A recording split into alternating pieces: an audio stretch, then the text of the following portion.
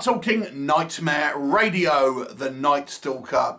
And this is actually an anthology movie, and it's actually a sequel from a previous Nightmare Radio film. And I actually quite enjoyed the original one, I gave it a 7 out of 10.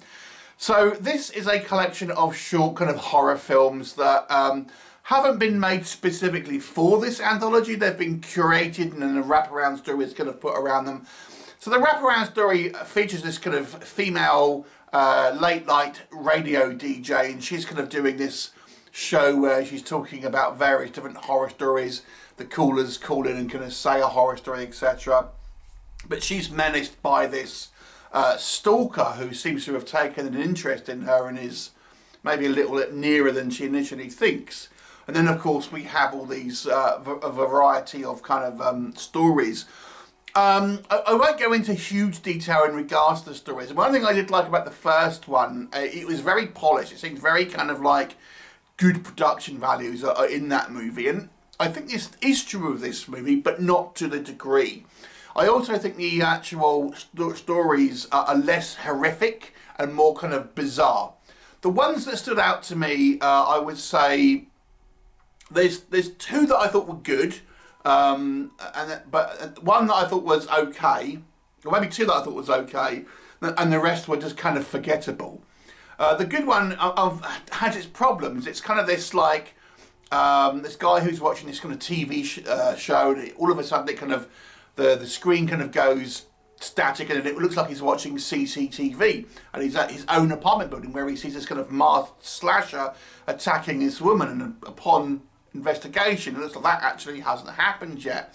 So he's able to kind of prevent it, but then he's going to see other things in the TV uh, as well. Now that I liked, it had a good setup. It had no, a more overt horror elements to it, but it's incredibly short. It's a very, very short, um, short movie, and I feel that one definitely needed to be expanded because I didn't feel like we got a good enough explanation about, or didn't get any explanation about what was kind of going on. So that movie to me needed more context. But I, I, I did like what we had. The final story is about this vineyard that has special ingredients, you might say, to uh, give their wine a unique flavour, and that's pretty good. Um, some decent kind of effects. Relatively obvious about what's kind of happening, to be honest with you. But I kind of quite like the kind of the, the, the it's, it's kind of you know fun, self-contained little story. Uh, so they were the two ones I thought was the strongest. There's one I thought was uh, okay, which is about this, this kind of um, filmmaker who's uh, scouting locations for this kind of his next horror film, and he's looking in this kind of particular kind of a abandoned hospital or, or sanitarium or something. And uh, of course, it's actually haunted this one. And the the idea is very kind of classic, you know, modern horror. That one. And that was all okay. The location looked good. I thought the acting was fine. But it's let down by some very obvious kind of CGI effects. The ghost effects on this one. Uh, I mean, there's a, there's a gore shot in it, but it's like um, uh, very kind of like goosebumps kind of style kind of VFX and kind of CGI. And it's also let down by one of the characters putting themselves into an incredibly dangerous uh, situation all by themselves. And it doesn't really make any sense why they would do that. Um, so they were the kind of like the two good ones and the one that was okay. There was another one that was okay at the beginning, the very beginning of the movie, which is this kind of like this intro one where this woman comes downstairs and there's kind of like this ghostly bride. Again, what we see on screen, it's kind of classic horror films, but there's just no context in it. And this is, I think, some of the, the problem with, with sometimes with anthologies is that there's very little setup, very little characterization. What we saw on screen was pretty good. You know, it looked like it was part of a, of a, of a scene from an existing film. I don't know, but it just there was just no setup in it, so you couldn't get invested in the characters. There's just kind of like lots of ghostly stuff happening. Um, but then there's also some kind of like uh, ones where I felt the stories were kind of pointless.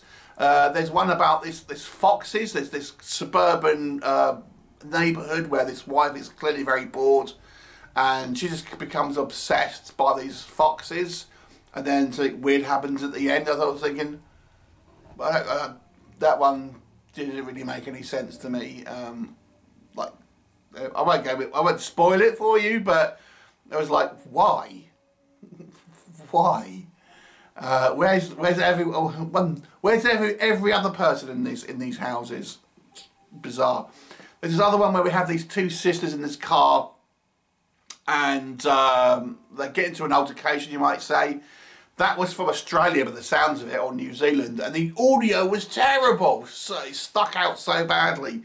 But then again, the story is pointless. It had some good VFX in regards to some gore, but the story just seemed pointless to me. Um, and then we have to talk about our wraparound story, where I, you know, where we have this kind of stalker. Now I think the radio DJ did a pretty good job here. Um, you know, very much what you'd expect from a kind of like a, you know, Elvira-esque sort of style kind of horror um, host. That makes sense. Um, but I think the guy she's playing off against, this kind of stalker, oh my god, his acting is so hammy. Uh, it's so hammy. And then uh, the this the kind of, I suppose, without spoiling, I think the final kind of face-off between these two is poorly handled. It, it's it's just not filmed very well, and um, yeah.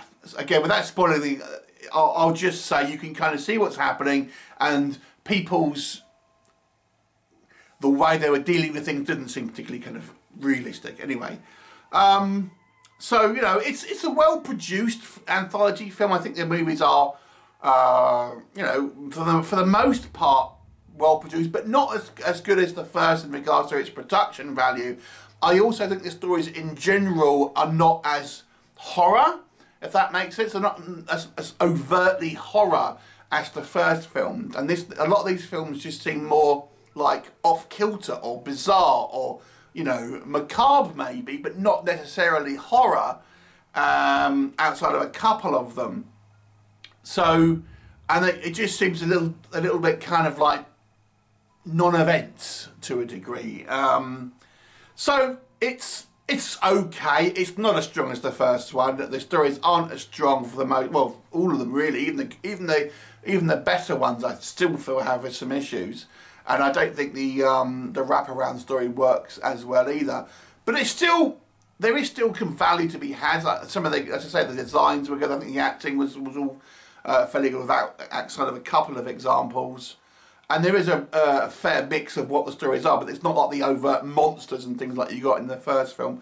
I'll give this one a 5 out of 10. Have you seen it? What did you think of it? Leave me a comment and I'll look forward to seeing you next time. Bye for now.